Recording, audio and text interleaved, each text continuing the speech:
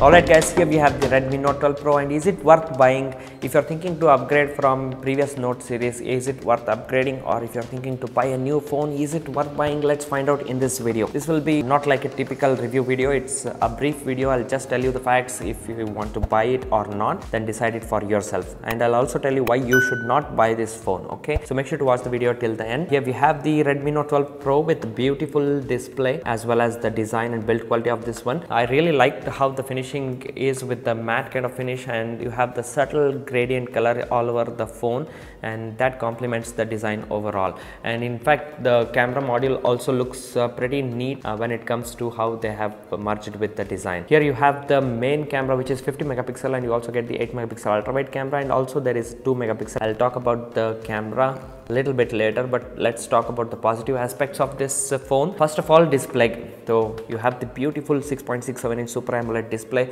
with plenty of brightness. So if you want to use it in sunlight daylight easily you can use this phone and even the display quality is very fluid in terms of how it looks the color accuracy the color saturation everything is up to the mark there and even since it's 120 hertz it's very smooth in how it functions. And the software optimization is also really great from Xiaomi. And we talk about the call quality. It's really great. There is no problem with any call quality or even the audio the speakers the stereo speakers that uh, it comes with along with the Dolby Atmos. It's really great so all that positive aspects and along with that you have the uh, one of the best battery backup phone at this price range and you also get the 67 watts turbo charger for that extra fast charging. So easily you can use this phone for two and a half to three days. So we talked about the display we talked about the battery. Let's talk about the performance. Now this one comes with mediatek dimensity 1080 processor. It's really great on how it performs and the software optimization is actually good and that compels with the processor here. Uh, while you are gaming or whether you are doing multiple tasks on this phone. So there is absolutely no hiccup. It's very fast and stutter free so the most important aspect when we consider buying a phone is the camera. So how's the picture quality? How's the video quality right? So it comes with uh, like i said 50 megapixel primary camera. It's actually a pixel binning that they do with the 12 megapixel and that's how you come to the 50 megapixel ultra hd resolution. And how's the picture quality? Below average. Not even average it's below average. Do not even consider the hype that they have created among the 50 megapixel camera. So it's not up to the mark. The image process algorithm what they have written is not up to the mark.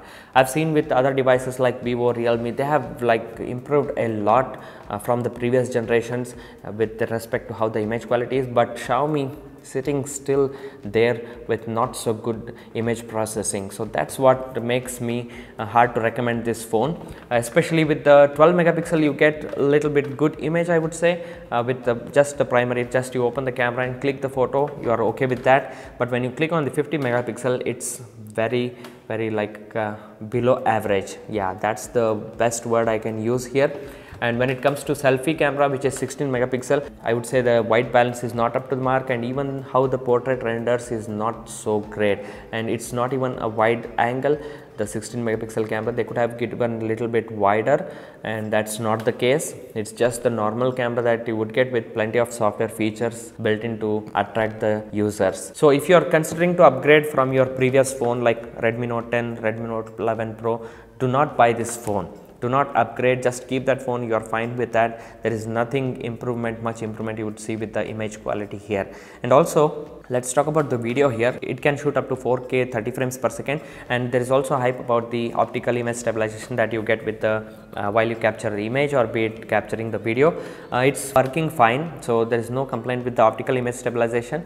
But then when the picture quality itself isn't great what is the use of this optical image stabilization right? So that's the thing i wanted to highlight here. If Xiaomi improves the image processing I would say this phone would be the best all-rounder but not for now so if you are thinking to buy new phone, so should you buy this Redmi Note 12 Pro? No, don't buy this one.